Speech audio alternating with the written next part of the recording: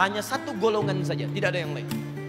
Orang ini bukan sekedar dipanggil, tapi saat masuk surga dari semua pintunya, ada yang ditontonkan oleh Allah di semua penghuni langit dan bumi. Semua menyaksikan. Ada anak yang bisa menggandeng tangan kanannya bapaknya, kirinya ibunya, di sampingnya istrinya atau suaminya, di belakangnya anak cucu keturunannya. Semua keluarga besar digandeng surga.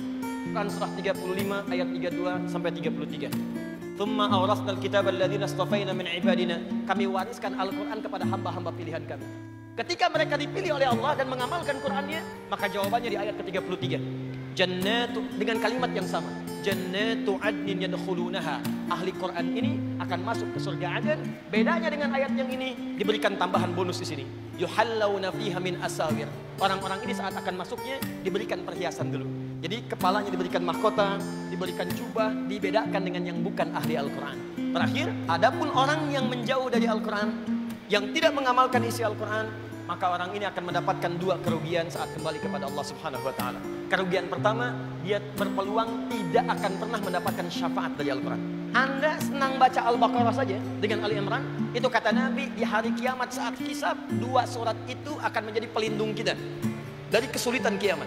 Yang kedua, mohon maaf, Qurannya tidak akan pernah meminta kepada Allah untuk memasukkan dia ke dalam surga. Maka itulah di antaranya mudah-mudahan kita termasuk orang-orang yang ditujukan oleh Allah dengan mencintai Al-Quran. Wallahu ta'ala alam. Bismillah.